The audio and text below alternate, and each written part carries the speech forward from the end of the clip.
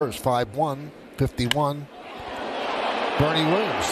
Now it's deep to left field. Kwan turns, looks, see ya, into the bleachers.